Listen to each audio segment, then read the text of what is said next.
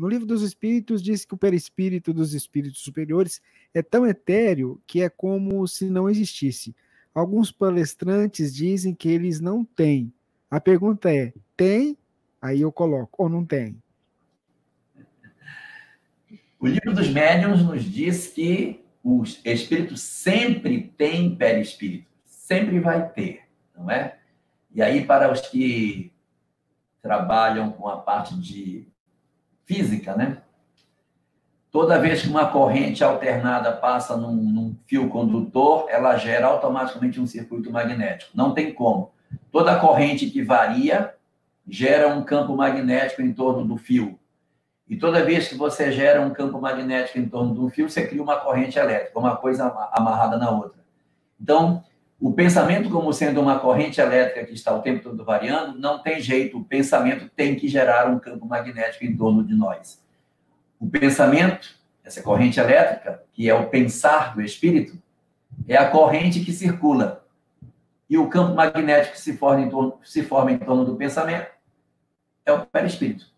Porque o perispírito é um corpo magnético, um corpo energético que está em torno da mente e que assume determinadas é, formas a depender da imagem que o espírito tem de si mesmo, que é o chamado corpo mental tratado por André Luiz na obra Evolução em Dois Mundos. Então, dentro dessa leitura, o que ocorre é como se fosse mais ou menos assim.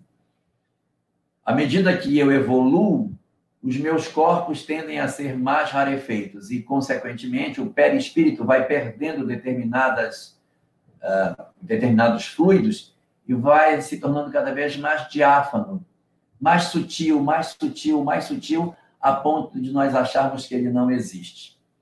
Vocês são muito jovens, não devem lembrar, mas numa época anterior a essa que a gente vive, havia as chamadas lâmpadas incandescentes. Não existe mais, é muito raro você achar no supermercado para vender.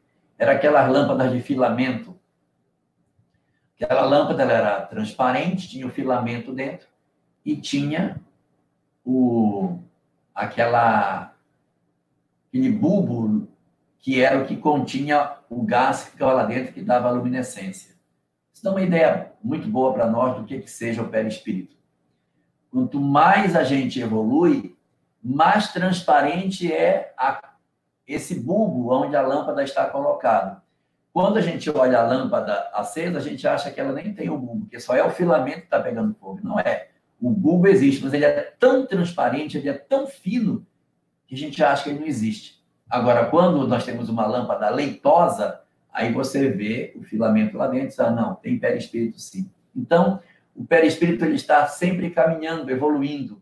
E no livro A Gênese, Allan Kardec fala sobre a migração dos espíritos e o perispírito, questão dos fluidos, capítulo 15 da Gênese, em que diz que quando os espíritos migram de mundo para mundo, eles abandonam do seu perispírito parte das, dos fluidos que são típicos desse mundo para agregar os fluidos que são típicos do mundo para onde eles vão.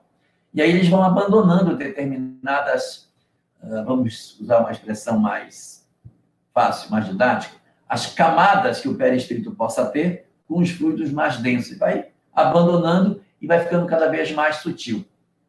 Nós achamos erradamente que quando o espírito é, evolui, ele ganha a luz.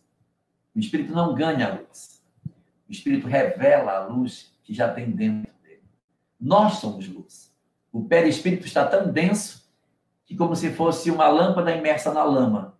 Você acende a lâmpada imersa na lama, não aparece a luz. Mas se você for trabalhando, mudando suas, suas imperfeições, abandonando determinados comportamentos, é como que você vai tirando essa lama e a luz que já existe se expressa por esse corpo que está ficando mais sutil. Então é assim que as coisas vão acontecendo. Quando vemos um espírito que é plena luz, nossa, que coisa linda, que, que imensidão de luz, como é o caso de Bittencourt Sampaio, que aparece na obra Voltei, numa reunião em que ele chega luz pura e depois ele se diminui e assume forma humana, ele tem para espírito.